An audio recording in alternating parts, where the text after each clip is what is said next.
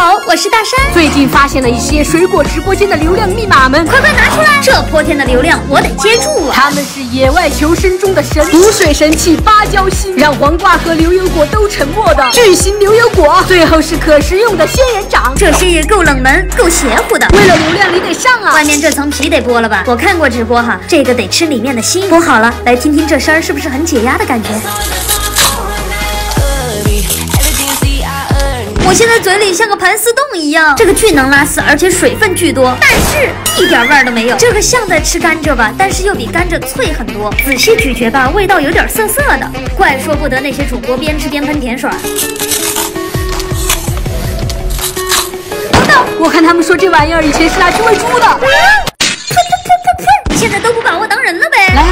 再尝尝这个巨型牛油果，应该还不错。这个到底是黄瓜劈了腿，还是牛油果出了轨？外形像黄瓜，但剥开确实是加长版的牛油果。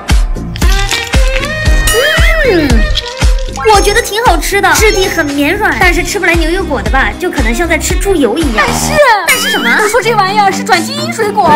嗯，我发现你今天就是来取我命的。杀言凶小，振作起来，用最后这口气尝尝这个仙人掌咋样？你确定能吃哈？可食用仙人掌，我生命担保。先来给它剥个皮，先来尝尝不蘸白糖的。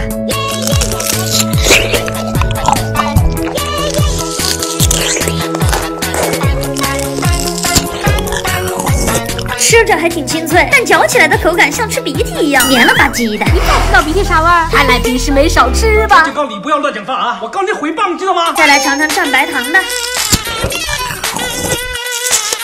这下有味儿了，但只好吃了那么一点点。但是你的表情挺勉强的。确实，咱们还是相信老祖宗严选吧。这些水果没出现在我们的食谱里是有原因的呀。在直播间看看券就行了，你们可别买了啊！对了，屏幕前的聪明鬼们，还有什么奇葩食物想让我给大山吃的？评论留言哦。